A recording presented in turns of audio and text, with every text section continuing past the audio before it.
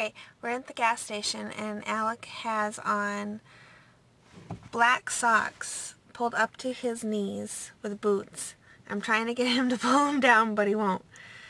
So you can see in a second when he comes out. He went in to go to the bathroom and pay.